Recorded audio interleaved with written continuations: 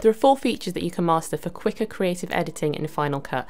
The magnetic timeline, connected clips, storylines, roles and audio lanes and the first one that I'm going to go through is the magnetic timeline. So the first time I used the magnetic timeline it was very weird. I came from Premiere Pro and used Final Cut and then I was just like what is going on? But if you get used to using the magnetic timeline it's going to speed things up so much for you. The first thing to know is two keys, the letter A and the letter P. So when you're trimming your clips when you have A selected or the selection tool then it's going to trim the clip without disturbing any of the clips around it so it's not going to overwrite any of the clips to the left or the right of it whilst also having the select tool selected, when you move clips, then you're not going to overwrite any clips that you move it next to. So it'll create a little gap and then you can put the clip into that gap. Now, if you did want to overwrite clips whilst you were moving them around, if you select P, which is the position tool, this is going to create a gap whilst you're trimming. So if you trim your clip from the beginning or the end, it's going to create a gap where you're trimming that clip. And then if you wanted to move a clip whilst you have the P tool selected, so the position tool, not the P tool, the position tool, tool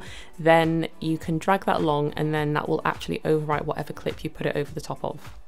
So that's just a really basic way of looking at the magnetic timeline so you're not pulling your hair out thinking why are things not working how I want to. So again, just remember the selection tool and the position tool. So the next feature is connected clips and again this is something which was completely unfamiliar to me when I came from Premiere to Final Cut but it works great and it again speeds up your workflow. It's a really great way to add b-roll or secondary clips or sound effects, music, anything like that to a clip on the primary storyline. So by default, clips are connected when you drop them onto the timeline and they connect to that primary storyline. They tend to have their connection stem at the start of the clip, so when you drag that clip onto the timeline, you'll notice that there's this line and that's your connection, that's your stem. So that will connect to the clip on the primary storyline wherever you drop it. Even when you're stacking clips on top of each other, they're all connected to the primary timeline. So when you drag a clip around from the primary timeline, anything that's connected to it is also going to move with it as well. This is also when you want to move a selection of clips, but not so great when you just want to move one clip in the primary storyline, which is something that I was doing in the beginning and I was just getting really annoyed because everything was moving. So the first way to get around that is to actually disconnect a connected clip from a clip in the primary storyline and link it to something else. And the way that you do that is by holding Command and Option and then clicking the clip that you want to connect to a different clip at the position where you want to connect it. Then that connection stem is going to be moved from the current clip on the primary storyline to the new clip that you've just clicked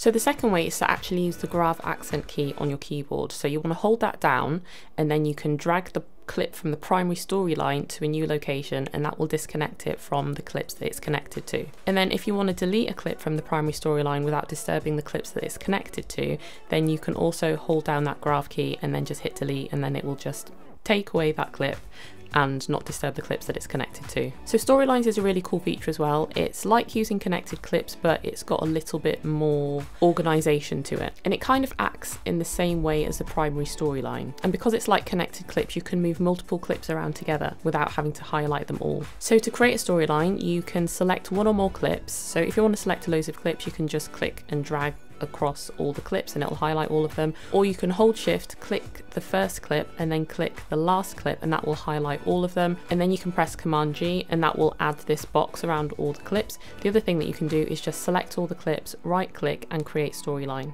So if you wanted to break all those clips apart because you realise you actually didn't want them in there, then you can select the storyline and then hit Shift Command and G and that will break them all out of the storyline. So once the storyline's created, it's great, like I said, you can move all those clips around just by clicking on the storyline itself. And you can also add transitions to all those clips as well. And to add transitions, you just need to go to the transitions tab and there are quite a few in there that Final Cut comes with. Or you can go to Motion Array, who is the sponsor of this video today, and download loads of different transitions from the site. Motion Array has loads to choose from. You can go and search for specific transitions that are going to fit your video. And then once you've downloaded them, you can import them into Final Cut and you can drop them onto your timeline. They work really seamlessly, there's really nothing else for you to do other than to drop them onto the clips and then you can either make them longer or shorter depending on how you want those transitions to work. If you do want to try out Motion Array, you can sign up for a free account and it will give you access to some free assets that you can try out. And then if you want to go ahead and buy a subscription, then you can get $50 off. I've put a link in the description so you can check it out. So once you've added your transitions to your storyline, if you want to actually add in more clips, you can do that as well. All you have to do is press and hold G and then drag it to the edge of the storyline and it'll automatically put it into the storyline for you.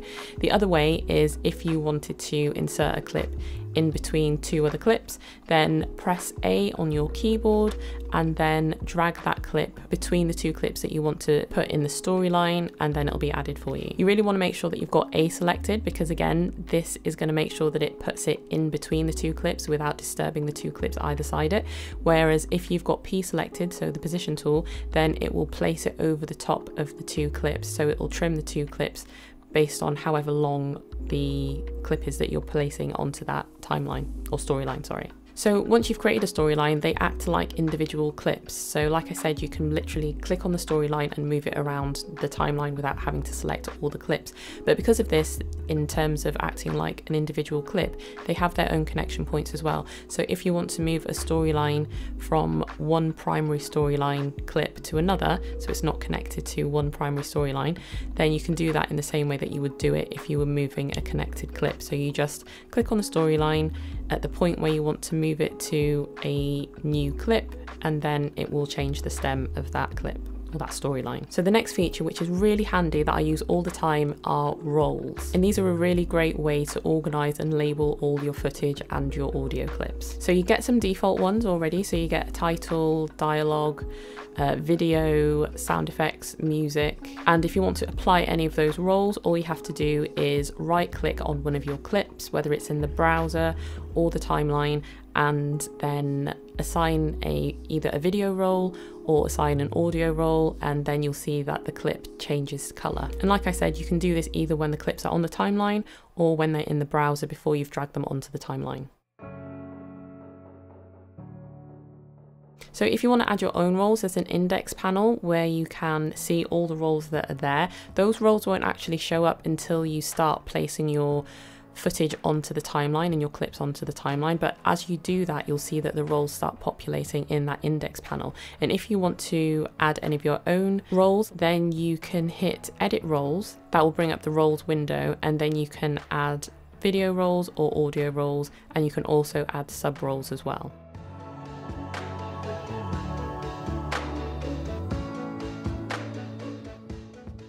You can also disable certain clips based on their role as well. So if you wanted to play back your video footage and you didn't want to listen to the sound effects, you could toggle that sound effects category role and then that would disable those clips so that you wouldn't hear them. Likewise with the music or with dialogue or anything like that. So it just means that you have more control over what you're listening to and how you edit.